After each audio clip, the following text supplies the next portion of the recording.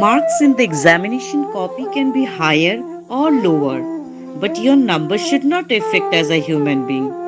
Build your life in such a positive way that everyone remembers you after death as well.